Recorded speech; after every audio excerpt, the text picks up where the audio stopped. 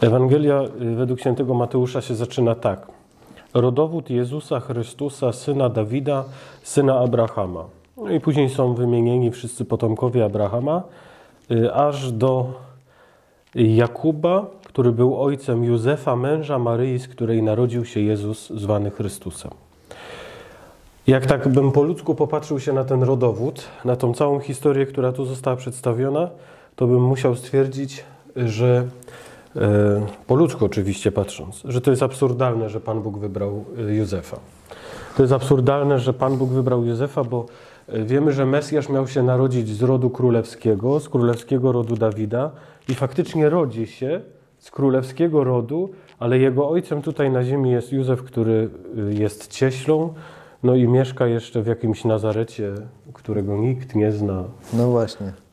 Pamiętasz też, że jak była mowa o Nazarecie, jak na przykład powiedzieli Natanaelowi, że Jezusa z Nazaretu, on jest tym Mesjaszem, to powiedział, czy może być coś dobrego z Nazaretu? Dokładnie. Czy. Total, totalna dziura. Totalna dziura i tam świecie. się ma niby urodzić Mesjasz. Y, Ale dla mnie to też jest y, interesujące, że y, mm, Mesjasz ma się tam urodzić, a jego ojcem ma być po prostu cieśla. I ten cieśla, zwykły, taki pracujący no, stolarz, można tak powiedzieć, jest potomkiem króla Dawida. Nie? To jest dla mnie takie zaskakujące. No i ten wybór Boga po ludzku patrząc jest po prostu absurdalny. No właśnie. No właśnie. Natomiast e, jest to dla mnie takim, takim wsparciem, że tak powiem, e, że Bóg tak zwykłego człowieka wybrał do tak wielkiego zadania.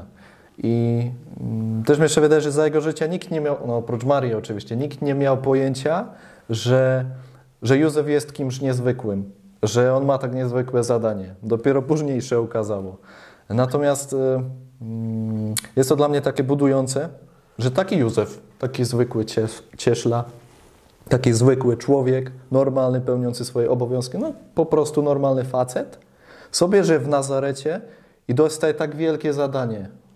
Niby, niby normalnie, normalnie się opiekuje rodziną, normalnie się opiekuje i wychowuje syna, ale ten syn, syn ma być kimś absolutnie niezwykłym. I Bóg wybiera tego zwykłego Józefa z jego zwykłymi obowiązkami, z jego dobrowolą, żeby zrobić wielkie rzeczy przez niego, żeby wychować swojego własnego syna. No tak, tylko że bo może, może się pojawić w nas taka myśl, że no dobrze, no Józef nie musiał być znany, bo zosta, ale został powołany do tego, żeby wychować Mesjasza.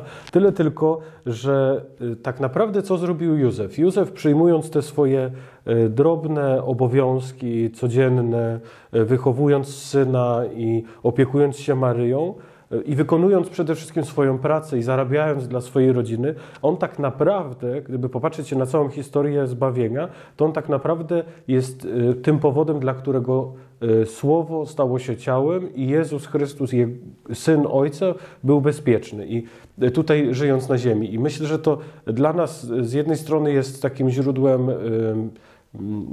no, nadziei, że tak, że nie musimy być, y, nie musimy być powołani w oczach świata do nie wiadomo jakich wielkich zadań, bo Józef był powołany do tego, żeby być cieślą, a jednocześnie y, wychował Mesjasza. Nie? I właśnie w, takim, w takich codziennych, drobnych obowiązkach, w wypełnianiu swojego powołania, ale w, w pracy, w utrzymywaniu swojej rodziny, w opiece nad dziećmi, czy w wypełnianiu tych zadań, które należą do naszych obowiązków, e, dzięki temu i w naszym życiu, no można tak powiedzieć e, górnolotnie, ale no to jest prawda, bo pokazuje to nam przykład świętego Józefa, że i w naszym życiu słowo może stać się ciałem. Rzeczywiście. Dobra, będzie? Będzie. Dobrze. Dobra.